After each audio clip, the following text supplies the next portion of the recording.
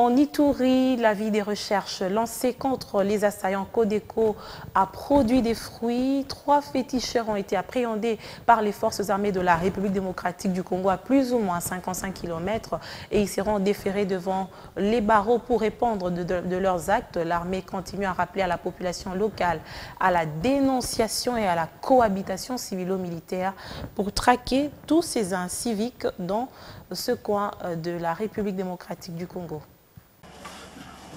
Il s'appelle Lopalimbe, chef spirituel féticheur de la milice Kodeko, et Boura Dedonga, son secrétaire, ainsi que Maximilien Lobo, qui se déclare coordonnateur du FNI en secteur de Walendupiti. Dans leurs aveux, devant le gouverneur de province Jabamanissa Saïdi entouré de députés provinciaux Eli Denjogu, Lopalimbe demande pardon des actes criminels commis à l'endroit des populations d'Endjogu et Magi.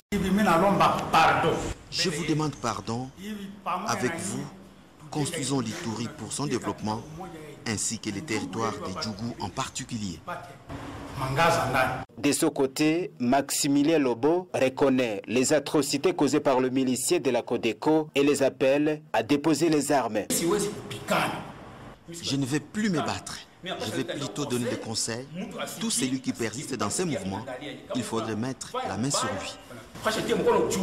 Lieutenant Gilles Ngongo, porte-parole de l'armée en Ituri, appelle le leader de cette milice, encore à Brousse, à se rendre au FRDC avant qu'il ne soit tard. Nous lançons un message au pasteur Kodeko, Emmanuel, Mongali, Soma. Il est grand temps de déposer les armes et se rendre aux forces armées.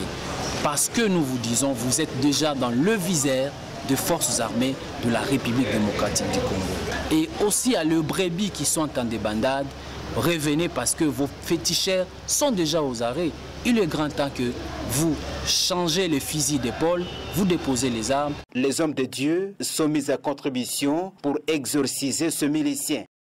Et nous croyons, Seigneur de Tout-Puissant, que ton esprit est en train de visiter le territoire de Djougou et toute notre province de l'Itourie, Seigneur, afin de disposer les cœurs des hommes.